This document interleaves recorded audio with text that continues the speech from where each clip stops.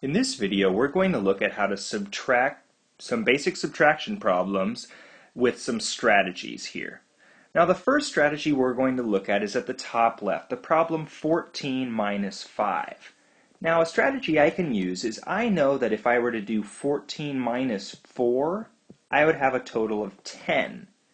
Just working with the number 10 usually helps. Now I only subtracted 4 and I was supposed to subtract 5 which means that I need to subtract one more from my answer to find out that 14 minus 5 is equal to 9. The next one we have is 13 minus 9. Now again, we're going to use tens. Instead of taking away 9, let's take away 10, because I know 13 minus 10 is equal to 3.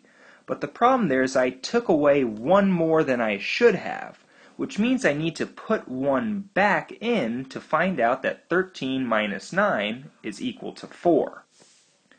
The next strategy I can use is to count backwards.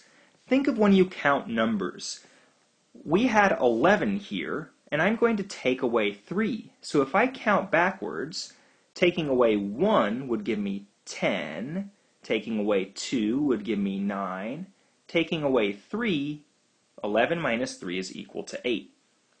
And the last one we have here is a doubles. What that means is that double 8s is equal to 16. So if I take away one group of 8, I'm left with the other group of 8. 16 minus 8 is equal to 8.